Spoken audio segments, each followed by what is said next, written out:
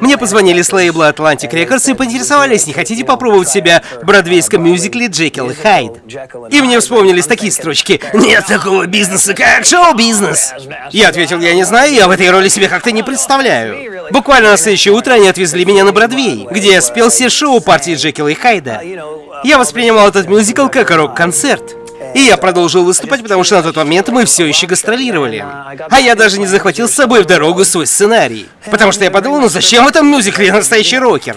И где-то через неделю звонит сотовый. На связи мой агент, и он спрашивает, могу я задать тебе вопрос? Я отвечаю, да, давай, а он, а каково это проснуться сегодня в статусе ведущего бродвейского актера? Я пою о рок-н-ролле, о своей любви, и недавно я подписал контракт с лейблом Spitfire Records на выпуск четырех сольных альбомов. Spitfire только что приобрел лейбл канадское отделение Capital EMI. Поэтому моя следующая пластинка выйдет на Capital EMI в Канаде, чему я очень рад. Но если говорить, насколько я зол из-за своего увольнения из Кедроу, так вот я не зол. Они зарабатывают на твоих песнях. Как ты думаешь, кто больше всего зарабатывает? Это ты мне скажи, я не в курсе твоих дел. Поверь мне, когда-то я зарабатывал. Но я даже не хочу говорить на эту тему. Являясь ведущим актером Бродвея, я знаю, сколько Кис платят своим группам разогрева. И я даю тебе намек с этим разобраться. Понятно, что от бродвейской сделки ты только выиграл. Окей, помимо Скидроу, что ты думаешь обо всех этих других группах? Они продолжают свою карьеру, поют такие песни, как You've Gone Wild. Есть разные группы, те же Poison, Slaughter, Dawkins, Cinderella, которые сейчас гастролируют. Мне очень странно смотреть это шоу.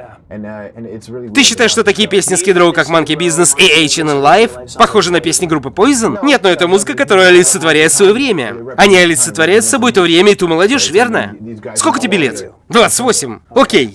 Если ты помнишь, когда Скидроу гастролировали вместе с Guns N' Roses, мы уничтожали названные тобой группы. Я уже один раз это в своей жизни сделал. Скидроу никогда не выступали вместе с Poison. Скидроу никогда не выступали с Эндрелла, а нет, мы выступали с ними в России на пару с Узи Осборном. Но когда я слушаю поизоновскую песню «Unskinny Bob», а потом я слушаю тему Скидроу «I Remember You», нет, я не улавливаю никакой взаимосвязи. Поэтому расцениваю твои слова как оскорбление. Это же тяжелая музыка, и вы во многом похожи. Ты считаешь, что Poison играют тяжеляк? Старина, у вас много общих фанатов. А ты видел Пантеру на разогреве Скидроу? Пантера играла вместе со Скидроу. Пантера никогда не гастролировала с Poison. Старина, я не согласен. Многие ходили на совместные концерты Poison и Скидроу. Так, все, интервью закончено. Ты не согласен с тем, что у вас общие фанаты? Мне наплевать. Я пою на Бродвее и не хочу обсуждать гребаных Poison, понятно? Ладно, чувак, все в порядке. Пока передает меня привет Диего. Хорошо, спасибо. Чертовый Poison. Я собрал по меньшей мере 4000 комиксов. У меня имеется первое издание Человека-паука. Удивительная фантазия номер 15. Комикс, который стоит около 25 тысяч долларов. На эти деньги я мог бы купить себе мотоцикл или бассейн, но свой комикс продавать не стану. Каким героем того или иного комикса ты бы хотел бы быть? Я люблю невероятного Халка. Он всегда был моим любимым. Вот прикол, этот герой был полностью списан с доктора Джекила и мистера Хайда. А сейчас, Себастьян, если ты пообещаешь вести себя хорошо, возможно, мы сможем замолвить за тебя словечко и подарить тебе эту куклу мистера Хайда бесплатно. О, большое спасибо. Но я не могу этого гарантировать. Чувак, именно так ты и выглядишь на сцене. Ну, смотря насколько хорошо я высплюсь. Когда я выхожу на сцену, в зале много моих фанатов. И на афишах на улице написано в главной роли Себастьян Бах. Я отношусь к своей роли в этом мюзикле очень серьезно. Поэтому я выхожу на сцену с твердым намерением играть и поражать моих зрителей на каждом выступлении. Стучу по дереву, мы отыграли, не знаю, ну 70-60 концертов. А, нет, это не дерево, это бумага. Но это стоит сделать. А, ты стучи легонечко. Нам аплодировали стоя на каждом выступлении, это весьма нехило. Многие, кто смотрел это шоу, говорят мне, что хотя ты прекрасен в роли мистера Джекила, кажется, что ты больше подходишь на роль мистера Хайда. Как ты можешь это прокомментировать? Ну, это очень рок-н-ролльная постановка. Мистер Хайд — это типичный рокер. Он предлагает давайте тусоваться, сексоваться, отжигать. Я выступаю на сцене уже лет 15. Поэтому роль доктора Джекила мне играет намного приятнее, только потому что эта роль сложнее для меня. Парочки сцен я целую с девушками, но потом через пару сцен я этих девушек убиваю. Поэтому моя жена предпочитает сцену убийства сцене поцелуя. Боже, тут сразу не разберешься. От рока до Бродвея, но такова жизнь. Если вы к чему-то стремитесь, а потом достигаете своей цели, и у вас все получается, что ж, это пупенно. Скажи мне, в чем разница между 10 годами в Скидроу и первой неделей на Бродвее? Ну, я никогда не думал, что Скидроу приведут меня на театральную сцену. Потому что я такой вариант событий исключал. Но я занимаюсь этим с большим удовольствием. Рок-музыка, как вы только что об этом сказали, просто потрясающая. Как в плане лирики, так и в плане мелодий. Поэтому каждый записанный мной альбом, если я ставлю на него свое имя, значит я его люблю. И вот когда я увидел Джекила и Хайда, сказал себе, это ж классная постановка. Так и есть. Я большой фанат фильмов ужасов и научной фантастики. Поэтому этот мюзикл прямо по твоей чести. Да, я привел своих детей прямо к актеру Джеку Вагнеру, которого я заменил. И он сыграл в этом мюзикле просто отлично. Сколько лет твоим детям? 12 и 6. Должно быть, им мюзикл понравился? Я думал, что в этом мюзикле все будет как в мультике «Король лев». Ну или что-то в этом роде. Но одной из девушек перерезают горло, а священника забивают до смерти полицейской дубинкой. И мой ребенок спрашивает, папа, а это все за правду? Ну это просто со стороны выглядит реалистично. Да, должно быть, работа на театральной сцене тебя дисциплинировала. Ведь срок группы ты отработал двухчасовой концерт и занимайся чем хочешь. Да, конечно. А теперь ты играешь песни. Да, действительно, это очень дисциплинирует. Шесть постановок в неделю и так четыре месяца я даю около 120 концертов. И нужно помнить наизусть все реплики. Да, ой боже. Я выхожу к зрителям, зачесанными назад волосами и говорю с английским акцентом. Мои поклонники не могут опознать меня на сцене. Где он? Что же тебе пришлось изменить в своей жизни для того, чтобы играть на Бродвее?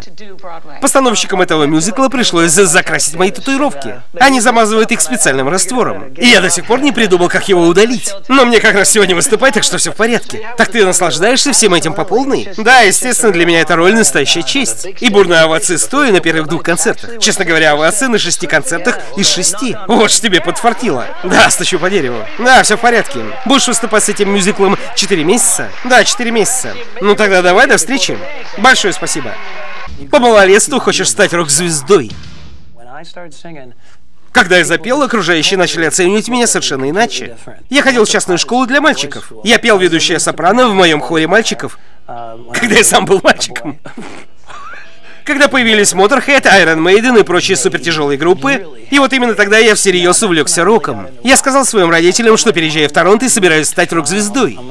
На что они мне ответили, нет никакой звезды ты не станешь. А я такой, нет, стану. Мы были первой хард-роковой группой, которая дебютировала на первом месте. И это было потрясающе, это было абсолютно круто. Мы выпустили 7 клипов подряд, которые заняли первое место в первой двадцатке хит-парада Countdown на MTV. Видеоклипы на песни You've Gone Wild, 18 and Life, Monkey Business, Wasted Time, Piece of Me, Slave to the Grind, I Remember You, и все они заняли первое место. На том концерте я впервые поднял на ноги 20 тысяч человек. Я никогда такого не забуду, от этого у меня мурашки по всему телу. Я никогда такого не забуду. Когда мы разогревали Аэросмит, я подцапался с одним фанатом. Это был худший вечер в моей жизни. Пара зрителей в зале серьезно пострадали, а у меня возникли очень большие неприятности. И у меня никогда не было возможности извиниться. Поэтому сейчас я хочу сказать, мне очень жаль, и я сожалею. И этот случай доставил мне еще больше неприятностей, к чему я уже привык. Мне очень жаль.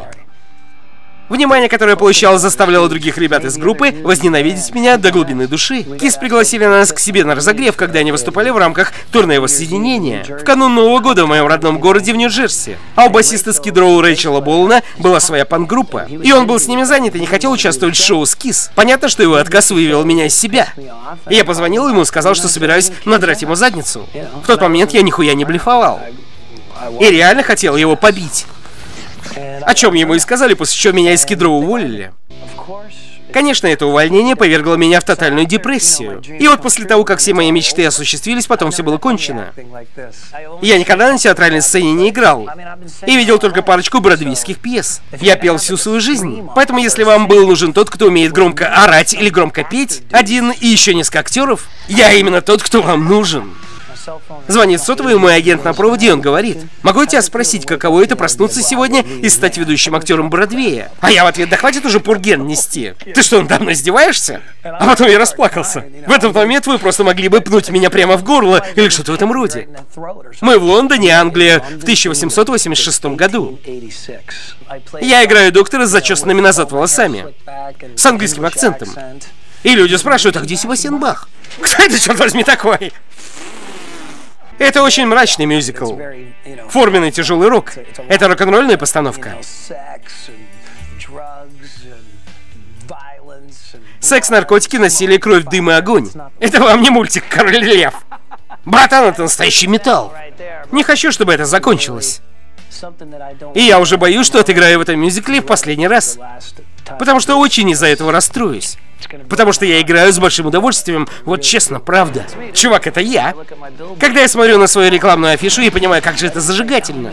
Я не хотел бы все бросить играть только на Бродвее. Я это я, я остаюсь с собой, я Себастьян Бах, вот и все.